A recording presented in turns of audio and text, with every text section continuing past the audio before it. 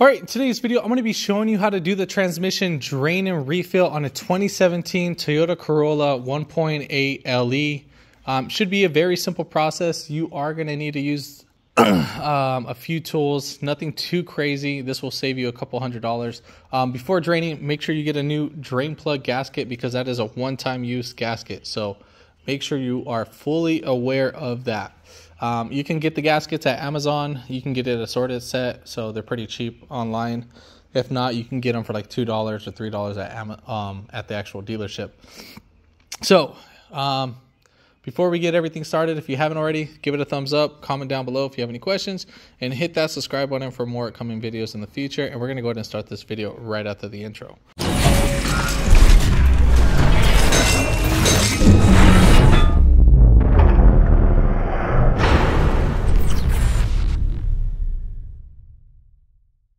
All right, so customer complaint. Um, when driving, she's kind of feeling a little here and there shuddering. So dealership wanted to sell her a timing chain job.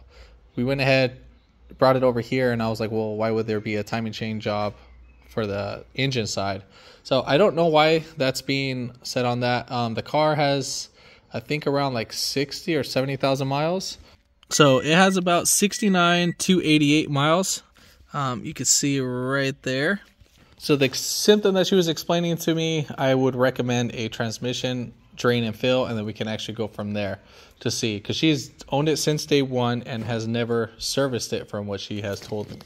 All right, um, let's go ahead and lift up the car, and then I will be showing you jack up procedures on that. And the car has to be leveled when doing this type of procedure. All right, so fortunate for me, we don't have a splash shield, so it's actually going to be a lot more easier um, if there was a splash shield. So I think there should have been one covering the actual oil pan. If not, it'll probably be a portion of it, just kind of how something like this is. Um, so this one's missing. I don't know why. Um, all right, so jacking up points. You can lift it up right here from the front you would be lifting up both front wheels. But before doing that, make sure that the rear is fully secured um, before you lift up the rear. So lift up the rear. I would recommend to lift both wheels up at first and then um, don't lift it up at the actual pinch welds because you will destroy them over time. They're actually meant for a lift. Now, if you do lift them up from here, you will destroy the the pinch welds on that, but you can if your jack can't fit under there. Now, you can lift it up from here, but I would recommend to lift it up at the actual bolt because it's actually more um, strengthened at that area. Same thing applies to the passenger side, it's vice versa. Now, coming up to the rear, um, you will be jacking it up from um, the actual crossbeam in the rear and then you could be using your jack stands to be supported right here um, on the actual pinch welds. And you can also put your jack stands on the actual pinch welds too as well. Um, it'll be fine once you're laying it down. All right, so now that's done. Um, we have the car leveled out. It doesn't need to be 100% perfect, but you do need to have it within a couple degrees. So what you can do is you can actually get one of these little level gauge and then you can actually see Let's see if we can get a better idea. So if it's kind of like that, that should be ideal. So does it need to be crazy perfect, but it just needs to be in that sense of area. All right, so before we drain out the fluid, what I always like to do is I like to measure it to see how much is coming out. Now, obviously, we do not have any leaks inside the system. So if you don't have a scan tool, what you can do is you can do the measuring technique. So you see what comes out and then you'll put back what goes back in. Now, if you have a leak, then obviously this won't apply to you. So just keep in mind where that's the, the method I'm going to be doing. I can show you how to do the temperature and I will give you the procedure for the temperature, but this actually works out pretty well. All right, so we're going to be using a six millimeter Allen. There's a little Allen setup. So let's go ahead and get this off. Lefty loosey.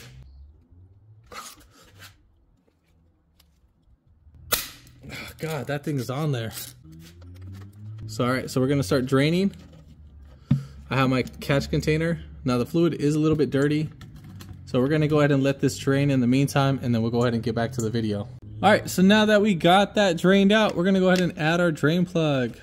Don't forget to replace your gasket and I will give you the torque spec on that.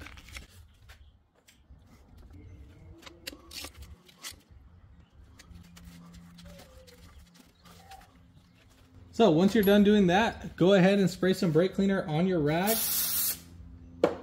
and then wipe down your area with the rag. This will keep you from wasting a whole bunch of brake fluid. I meant brake cleaner. All right, cool. We got that down. Now, the fluid that came out wasn't really that much. Let's see how much came out. Literally, literally about a quart. Huh think it should have been about a quarter and a half to two quarts that should have came out. So let's go ahead and check out to see the drain and refill procedure. I'm gonna see how much fluid is supposed to go in and come out during that process. All right, so next I'm gonna go ahead and take off the wheel. We are gonna be using a 21 millimeter.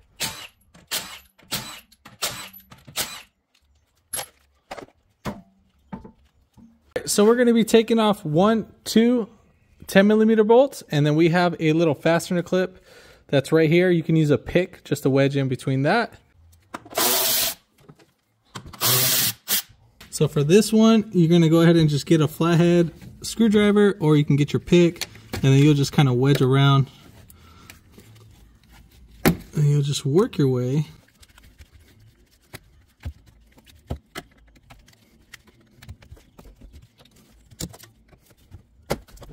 So for the little clip right here, I'm just gonna kind of hang it down below, just like that. And then we have our, looks like a 24 millimeter. So we have our 24 millimeter fill plug. All right, so that is a 24 millimeter. So let's go ahead and remove that. It shouldn't be on there that tight. But once the fluid stops like pretty much almost draining out, now we have a fill plug. So you're gonna use the same six millimeter Allen wrench so just gonna back this up as much as possible. And then we should start seeing fluid leak right out. So this is the fill tube that we're taking out. Now just keep your actual, all right, there we have it. So this is the little plastic tube that we got. Let's go ahead and clean this up. Now, these don't need to be tightened that much. So you can see it. This is where you put your Allen. So yeah. So we'll go ahead and get back to the video once it's done draining. All right, so once it gets to this little trickling effect, we're gonna go ahead and just, you can either just wait until it, it drains right out or we can go ahead and put back on the, the, the tool itself. Now, this, you don't need to torque it down. All you need to make sure is that it's all the way snugged up. So let me clean my area as we're tightening this down because my hands are a little greasy and slippery. So we're going to go ahead and tighten this down. And we're going to keep going until it stops. Once it stops, I just back it up half a turn and then that's it. They torque this fill tube to 15 inch pounds. So, I mean, I'll just say do it by hand and then you should be fine. As long as you can back it out by hand, you'll be golden on that. All right, so now that we got that in, let's go ahead and put on our drain plug. We're just going to tighten this down as needed. And we'll, we're not going to worry about this because we got to still check it out. So we're not going to finish tightening that. So I'm just going to clean up my area for the time being. So for the drain and refill that we did, um, we got about two quarts. And I think that's pretty ideal for a drain and refill. So we are set on that. Now, let's just say if you had a leak. One way you can actually do this um, before anything is that you can actually keep this off and then we would fill it up at the fill tube, but you would keep this off until fluid starts leaking. Once it starts dripping, not pouring, once it becomes into like a drip, then you would basically close this off and then um, go ahead and start the vehicle from that um, point we would let the car warm up. Now you do need a scan tool to do this um, if you had a leak. Just want to make sure you're you're fully aware of that. Now if you didn't have a leak you don't need the scan tool. Just want to make sure you're fully aware of that. All right so the transmission fluid that we're going to be using um, i'm using the valvoline max life full synthetic. Um, it's going to say Dexron 6 Mercon v and lv Dexmerc CVT. Now, when coming over here, this one, the transmission fluid that we actually need, it needs to be Toyota or Lexus CVT FFE. That's the fluid that we actually need for this model. So this is compatible with that. So in that sense, just go ahead and shake it because whatever little additive that it has, got to make sure it's all shook around. All right. So we're to take about two quarts from this. Measuring right here is to be one quart to three. So we just need to get it down to the two quarts. I don't know if you guys can see that. So once we get it down right here, the left side is liters and the right side is quarts. We're measuring quarts. Now to fill up the transmission, I'm to be using a Mityvac. I got this on Amazon. Um, it's about 1.5 liter extraction, so this is actually perfect. So I'll probably maybe one and a half times I got to fill this up. Or yeah, just extract it and then fill back the car up with that. Now, if you didn't have that, they do have a mini version. Um, you can buy this one at AutoZone. Uh, I believe it's by CTA. Now these are about like $20, $30. That one is not even that much different. So the only thing is you just have to do this a couple more times in that sense. All right, so we're gonna go ahead and fill up our area. So when pushing in the fluid, you need to make sure that you pump it in slow, because if not, it will shoot out.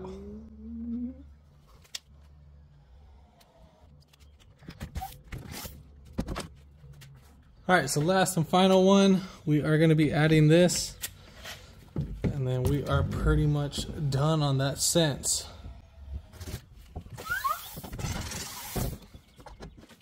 All right, so we're gonna go back and put on our fill plug. So we're just gonna just just put it on just like that, just for the time being. Hand tighten. So we gotta go ahead and check out our fluid um, level. So now we're gonna be checking out the temperature. Now the temperature is gonna be in the um, actual transmission. We're not looking for engine coolant temperature, so I do not care about that. So I'm gonna go ahead and let this load all, or never mind. Let's go ahead and Corolla. And I will basically, god dang. I just want. Alright, so we're gonna go ahead and pick, let's see, without smart key, radar cruise.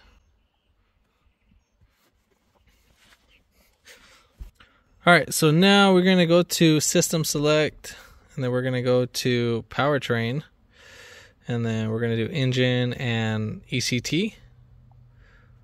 Let's see. I gotta pick out some data. The ones I only care about is the transmission. So we're gonna do read data stream.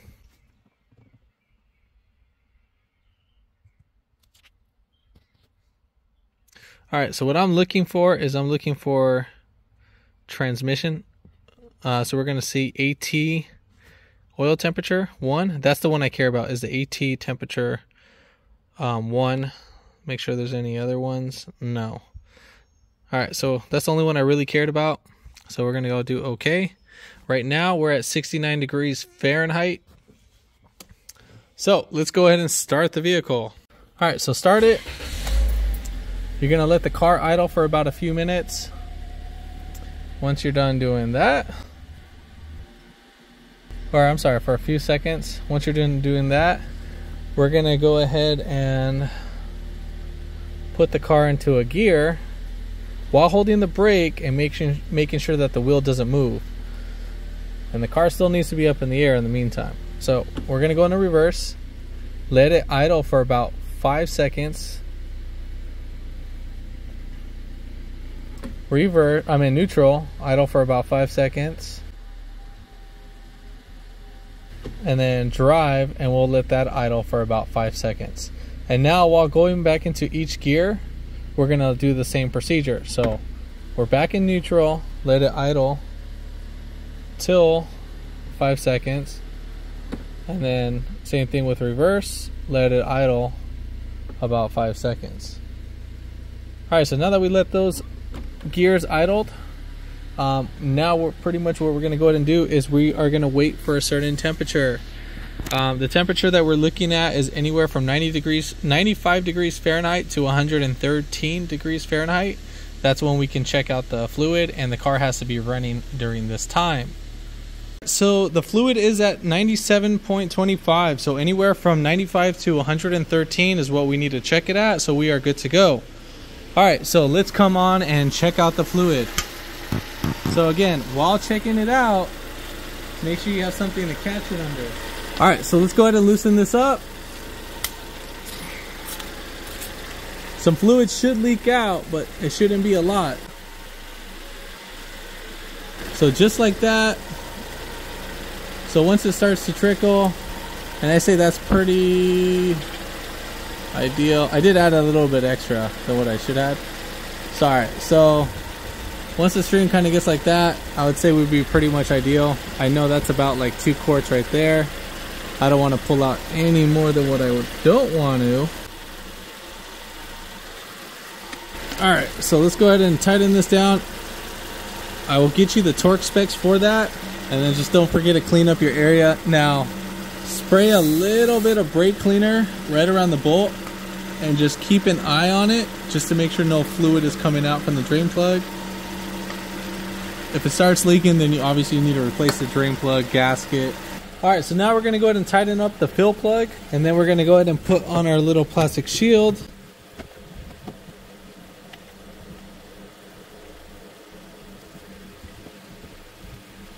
All right, so we're gonna go ahead and put on our clip.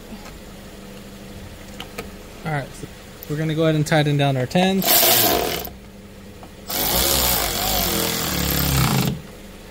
All right, so the drain plug is going to be torqued down to 30 foot-pounds, and then the fill plug is going to be torqued down to 36 foot-pounds. So keep that in mind. For the wheel nut, the lug nuts, you're going to be torquing down that to 76 foot-pounds. And when you put on the wheel, you're going to be torquing it down in a star pattern. So you're going to go one, two, three, four, and five, and that's pretty much it. Um, make sure you snug them down because you you do got top hats so try to snug down the bottom and make sure that the, um, the lug nut actually seats onto the rim. Because if not, you can actually tighten it down while it's like that and it's not all the way seated. And then you'll have an issue. And as you're driving, it'll go ahead and send her out and then your lug nuts will be loose again. So make sure that it's fully seated in in the actual rim. This video helped you out, give it a thumbs up, comment down below if you have any questions, and hit that subscribe button for more coming videos in the future, and thanks for watching.